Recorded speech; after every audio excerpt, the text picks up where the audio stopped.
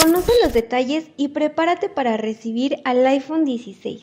Hoy, lunes 9 de septiembre, Apple tuvo grandes sorpresas en su evento más esperado del año y en esta ocasión el iPhone 16 fue la estrella del show. El lema del evento It's Glow Time fue una pista de la nueva interfaz de Siri que se dice será todo un espectáculo. Alexa, find me a movie. Who is Alexa? I'm sorry, I meant Siri.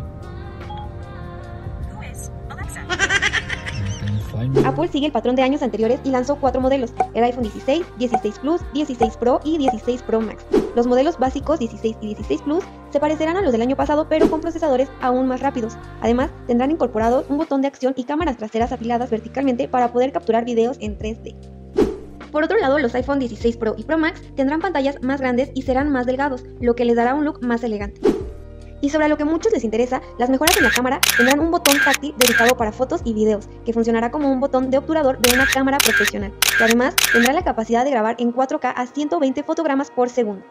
Incluso tendrán 250 GB de almacenamiento, doblando la capacidad del modelo anterior.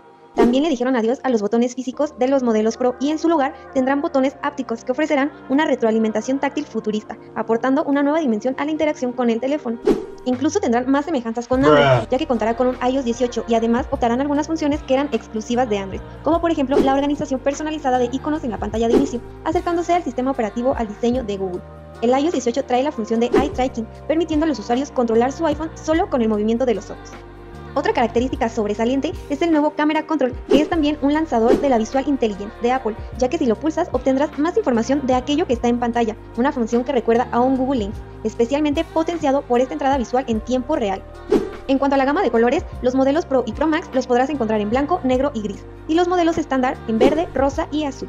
Y en relación a sus medidas, serán las siguientes. El iPhone 16 será de 6.1 pulgadas, el iPhone 16 Plus de 6.7 pulgadas, el iPhone 16 Pro de 6.3 pulgadas y el iPhone 16 Pro Max de 6.9 pulgadas. Y por último y lo más importante, se rumorea que el iPhone 16 Pro tendrá un costo aproximado de 21 mil pesos, mientras que el Pro Max podría costar alrededor de 23 mil pesos mexicanos, mientras que los modelos básicos mantendrían precios similares a los del año pasado. Si quieres leer la nota completa, visita nuestra página web, Vox Informa.